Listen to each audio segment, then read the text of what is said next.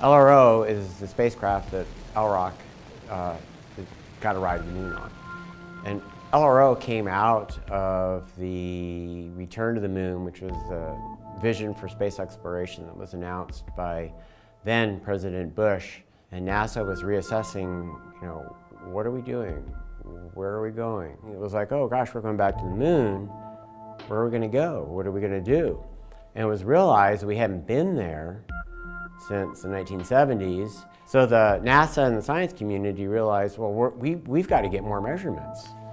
If we're going to really do this smart, we need to have holistic knowledge of the geology and geophysics of the moon so we can pick the best places to go. You don't want to just be randomly landing on the moon. Goddard Space Flight Center was requested to build this lunar orbiter and then NASA uh, decided that, well, we're going to let the science community pick what instruments go on it. Well, we told NASA why this was critical for a human return to the moon, and they said, okay, build it. Eventually, six other science instruments were on LRO. The original mission was only supposed to last for three years, and now we're in our 10th year, and we're still returning incredibly useful science data. LROC is actually, it sounds like one camera, but it's actually three cameras. Two identical narrow angle, very high resolution. You know, it's actually, we can see the tracks left by the astronauts, so you can get a feeling for what high resolution means.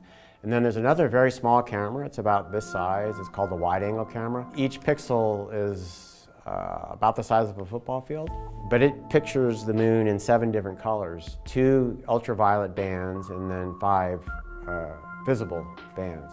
And from that, we've mapped out uh, mineral abundance and learned a lot about ages of the surfaces of, of the moon.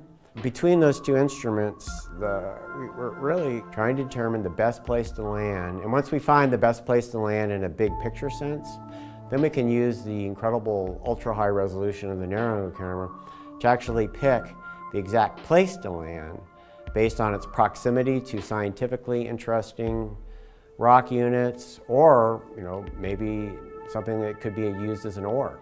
And that was really the goal, is where can we go to do science and also look for ore bodies. My role is, you know, this much of that. And you have these dedicated people who come to work every day. They make sure that the camera's working correctly, that the commands are right, that we get the images that we need. And also the same can be said for the operations team at Goddard Space Flight Center who actually operate the spacecraft. And you know, you don't want to lose sight that it's because of these people that we continue to make these scientific discoveries. And now it looks like we're actually going back to our original purpose of helping find the best places to land humans on the moon.